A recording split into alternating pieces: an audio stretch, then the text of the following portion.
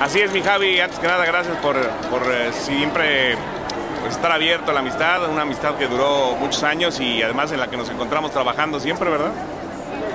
Uy, me llevo un chorro de amigos. Hoy que es el 14 de febrero, fíjate. Me llevo muchos amigos y me llevo un amor profundo por esta ciudad que me encanta a mí y a mi familia nos encanta Chicago. ¿Qué dejo? Pues deudas. No, no es cierto. Dejo, creo que dejo amigos. Creo que dejo amigos. Es, es recíproco, como diría Nacho Treyes, toda la amistad y el, cariño es recíproco. Y, pues eso venimos al mundo, mi querido Javi, a, a crear afectos. Lo demás, pues se va con el, con el friazo. Entonces, eh, creo que me llevo muy buenos amigos y creo que dejo buenos amigos.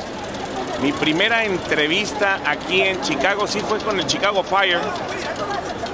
Eh, cuando cubríamos al Chicago Fire y el único, bueno, había dos, dos, solamente dos jugadores que hablaban español. Uno era hispano y el otro no. Orlando Pérez era un defensa lateral que hablaba español, por supuesto, su mamá era puertorriqueña.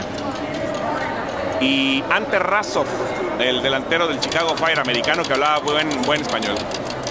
Eh, y en esa misma semana me tocó cubrir el béisbol y también de las primeras entrevistas estaba Esteban Loaiza con los Medias Blancas de Chicago y era cuando estaba en su temporada, te acuerdas, el 2003 iba terminando, estaba terminando la temporada y Esteban estaba terminando con 21 victorias que empató a, al Gordo Valenzuela, al Toro Valenzuela con, con 21 victorias como los más ganadores mexicanos en las grandes ligas.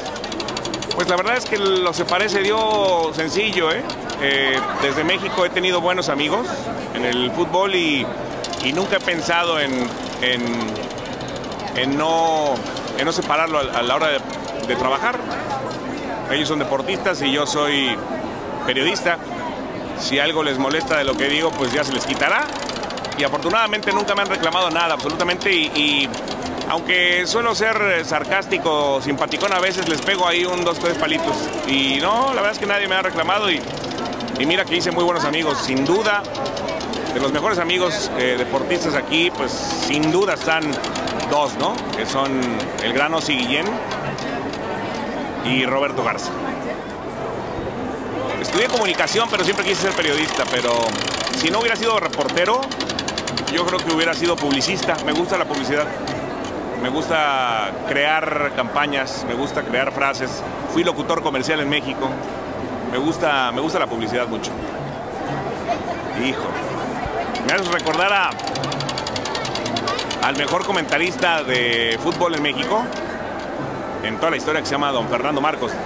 Se llamó Don Fernando Marcos, con el que, fíjate que tuve la fortuna de empezar mi carrera.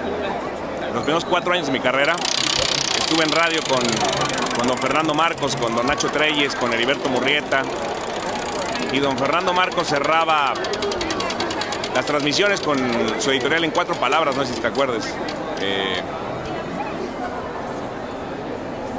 pues parafraseando o emulando a don Fernando Marcos podría decir gracias Chicago, te quiero.